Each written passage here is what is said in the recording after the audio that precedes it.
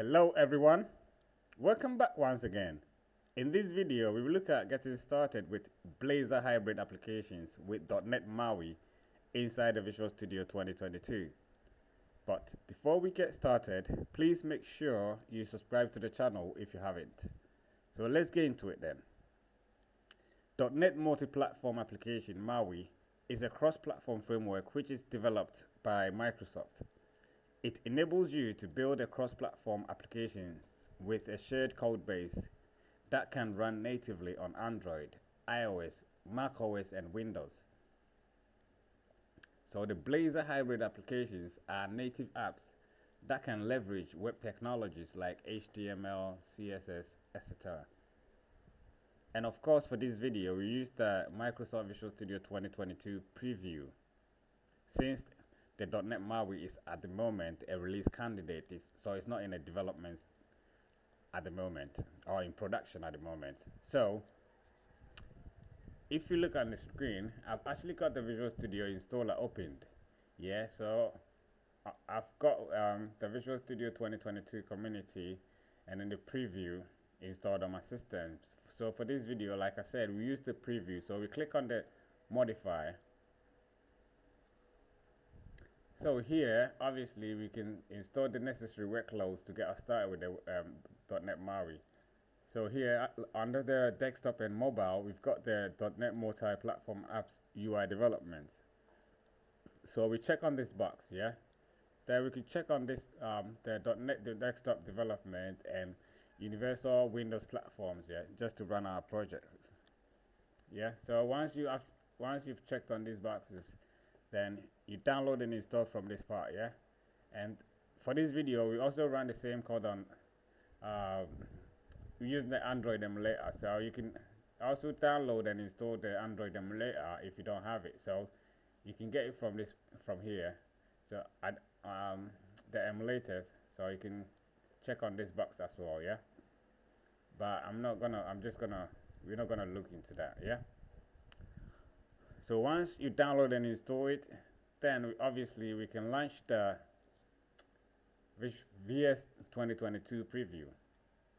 So here click on the create a new project.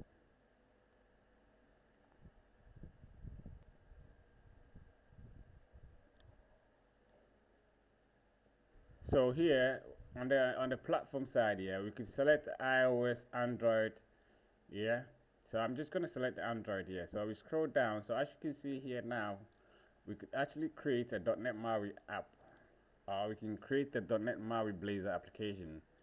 So we're going to select this here. and then we go next. So here obviously you can configure your project details yeah? But we're not going to look too much into that yeah? So we click on the create. So this might take a while for the whole thing to load. So I'm just going to pause the video then. Okay, so as you can see here now, we've got the project opened. Yeah, but before we, we run it for the first time, we're just going to look, we're just going to look at what is inside the project. I mean the, the template, right? So first, let's see, we've got this um, data folder. It's got a class, um, weatherforecast.cs. So this actually has the weather forecast details yes like the day temperature and whatnot yeah? And we've got the service that will generate the data for the weather forecast yeah? So it's still a very simple stuff. We're not going to look too much into that yeah?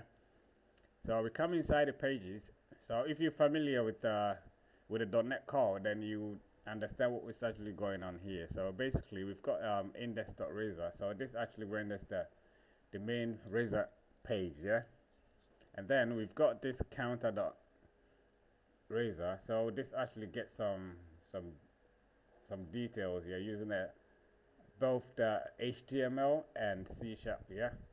So as you can see he's got at code here just to use the C sharp code yeah? And then we've got this fetch data. Yeah it's also got a very simple HTML and some few um, few C sharps yeah few C sharp code yeah so we come inside the platforms here so basically these are the targeted platforms so basically we can actually for this say for this code here we can directly run it on Android iOS Mac Catalyst, Windows, and etc. Yeah. So, and the resource folder contains the images, fonts, and whatnot. Yeah, and of course, and shared contains the layouts. Yeah, if you're familiar with .NET Core, yeah, it's, it's very it's very similar. So this actually this is the main layout, and it's actually referencing this nav menu for navigation menus, which is this. So it's basically this for the navigation. So as we can see, it's a very simple stuff, yeah. And then this for the survey. So basically, this will like when, when we run it, we see where all this is coming from, yeah. And then we've got this www root folder which contains the CSS and, and the fav icon, and then the index.html, which I'm, I guess is the entry for the application. Yeah. So as we can see here, it's very simple, and we've actually got the uh, the main program. So basically, this is the entry point for the program. So if you if you're familiar with .NET Core, then this will be like this will look very familiar to you. Yeah. So basically, we're actually configuring the uh, the fonts so I think I guess you can you can configure a whole lot of stuff from here yeah so now we come inside uh, running it yeah so first of all we're going to build it so build a project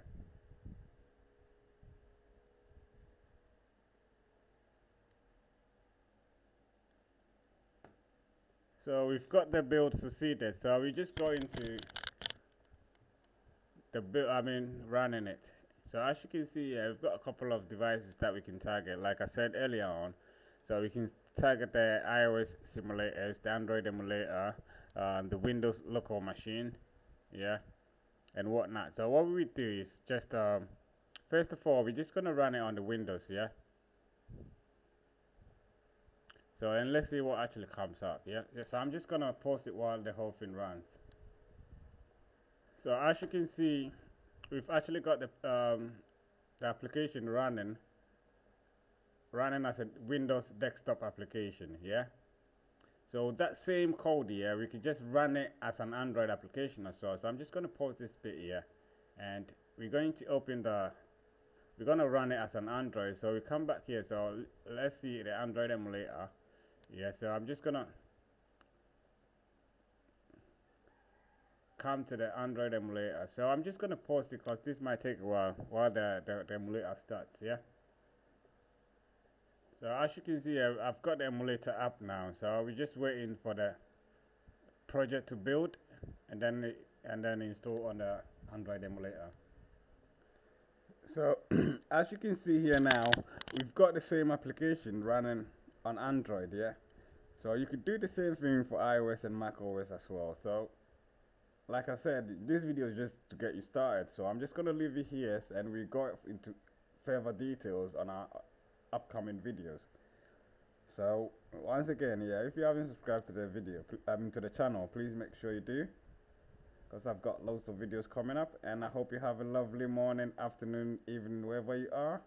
Peace.